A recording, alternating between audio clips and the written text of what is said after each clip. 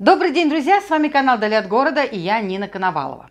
Каждый дачник и огородник, неважно, опытный или начинающий, всегда мечтает вырастить что-то свое, вырастить свою рассаду, нежели идти на рынок и покупать рассаду у тех людей, кто этим занимается. Потому что, ну, во-первых, не всегда продают то, что хочется, а во-вторых, э, мы же хотим выращивать разные сорта. Кто-то собирает свои семена, кто-то покупает семена – неважно, всегда хочется вырастить хорошую рассаду. Вот смотрите, у меня какой перчик небольшого роста, но весь усыпан уже маленькими перчинками.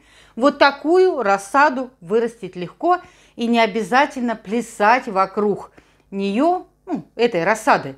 Постоянно устраивать танцы с бубнами и э, следить, выслеживать, то ли пятнышко появилось, то ли вытянулась она – я вам сейчас расскажу о том, какие а самые простые моменты надо учесть, чтобы ваша рассада была крепкая, здоровая, а в итоге дала хороший урожай. Сегодня хочу вам показать несколько приемов, которые я совершаю со своей рассадой, чтобы она не вытягивалась. Это не поглаживание, хотя к этому я хорошо отношусь и рекомендую изредка проводить вот такое вот поглаживание. Но когда э, рассада уже такая высокая, э, страшно ее повредить, а неосторожное движение, механическое движение может привести э, ну, к поломке рассаде.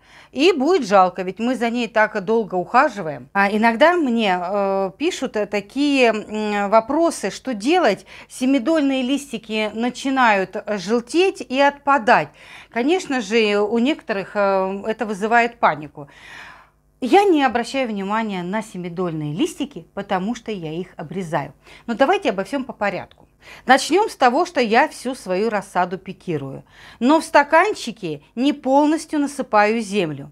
Если для томатов э, не опасно пересаживать с углублением, то перчику это сулит неприятности, например, загнивание корневой. Как только рассада подрастает, я срезаю аккуратненько семидольные листочки и подсыпаю грунт. Обрезка семидольных листиков притормозит вытягивание рассады и нарастит э, дополнительно корневую. Когда можно обрезать семидольные листики, вот эти? Когда уже точно есть 4 настоящих листика и появляется пятый. Можно вот даже когда больше листиков уже начинать обрезать. Но тут тоже важно соблюдать определенную технологию. И особенно это хорошо, если рассада очень сильно вытянулась. Сначала мы обрезаем первый семидольный листик. Через неделю мы обрезаем второй семидольный листик. И потом начинаем потихонечку подсыпать землю. Корневая будет разрастаться. Так мы в три этапа останавливаем вытягивание. Если рассада уж совсем вытянулась, то через неделю можно срезать один настоящий листочек. В общем, до высадки в открытый грунт или в теплицу можно а, срезать 4 листика, то есть 2 семидольных и 2 настоящих. И тогда у вас стебелечек будет прям такой вот крепенький. Но когда мы уже будем пересаживать рассаду в грунт, конечно же, я вам сниму, и вы увидите, что стебелечек будет крепкий. И Сейчас уже видно, что, в общем, он не тоненький. Вот на перце, э, к баклажанам я только сейчас приступлю, потому что уже появилось раз, два, три, четыре, и пошел пятый, шестой. Баклажанчики начали вытягиваться, и я начну обрезать. Первый семидольный я уже обрезала. Пришло время обрезать второй семидольный и подсыпать, чуть-чуть подсыпать землю. Прям, ну, можно здесь уже не подсыпать. И потом уже до высадки в грунт я, конечно, один или два настоящих листика срежу, потому что для перца, для баклажан, да и для томатов, особенно высокорослых, важно формирование. Это влияет на урожайность, на размер а, плодов и, в общем, на, в общем-то, на выносливость. И бояться отрезать вот эти первые два листика, пока у вас еще стоит рассада, не надо.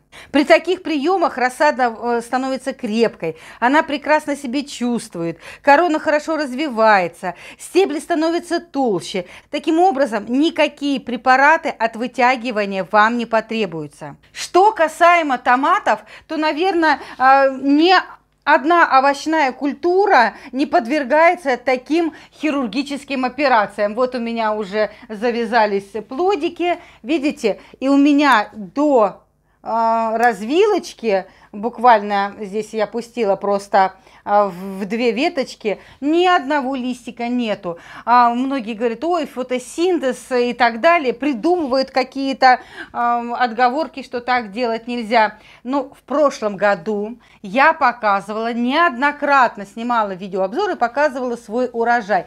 И все видели, что ни одного листика у меня нету а, до первой завязавшейся уже сформированной веточки с, с гроздями томатов. И так дальше я иду до самого верха. И таким образом у меня созревают хорошие плоды, наливаются своевременно, и растение не тратит свои силы на то, чтобы прокормить вот эти огромные ветки листьев.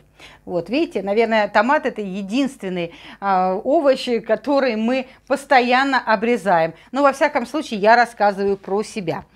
Итак, это можно делать и с баклажанами, и с перчиком. Если вы боитесь на основной рассаде это все делать, ну возьмите себе партию какую-то, э, отберите и попробуйте. Вам понравится, и вы на следующий год уже, конечно же, будете прибегать вот к таким хирургическим операциям, поскольку, ну действительно, не везде хватает у нас этих ламп для света, э, для освещения, не хватает окон. Э, ну сейчас у меня закрыто, потому что отсвечивает, когда я снимаю видео. В общем, и рассада, как ни крути, начинает вытягиваться. Ну и вот учитывая то, что вот сейчас у нас часто пасмурные дни стоят, хоть у меня окна в этом помещении и большие. И еще раз хочу вернуться к томатам. Для большинства сортов томатов, выращиваемых в средней полосе России, обрезка листьев просто необходима. Без них томаты не вызреют и у хорошего урожая не дадут. Конечно, бывает, что сами листики отпадают. Это от нехватки питания или грунт тяжелый. Ну, причин, в общем, много, но ничего страшного. Если остальные листики в порядке, то не трогайте растения, просто вот так вот обрежьте и подсыпьте землю.